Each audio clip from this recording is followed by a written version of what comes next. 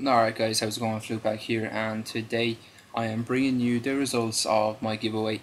So pretty much what the giveaway was, um, I was just saying thank you again for 100 subscribers so after hitting 200 subscribers recently as well so I'm not going to be doing another giveaway maybe at 250 subscribers just to kind of like put a little break in between everything. Uh, again, I want to say I'm sorry for the lack of uploads and everything. I've been working a lot lately and it's been very hard to find time to actually make any videos and do anything in particular is in like try to have time to actually make a video and do a commentary and post something online.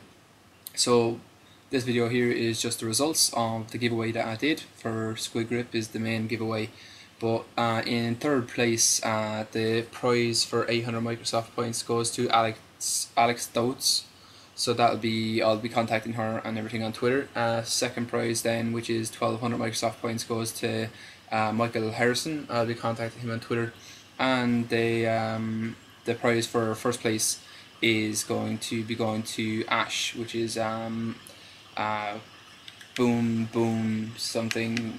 Uh, after forgetting her name and everything now, which is probably a bad idea.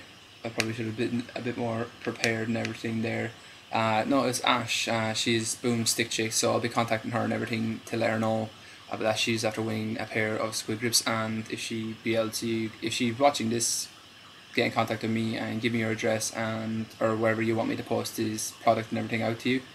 But anyway guys I hope you do enjoy the video. It was a nice little streak in the game of Honor Not and everything as well. I ended up losing um, but what can you do? I was going for a little 360 kill cam at the very end but sure what can you do? Anyway guys I hope you did enjoy this video and if you did please leave a like please leave a comment and make sure to like and subscribe and I will try and get some more videos up in the next few days.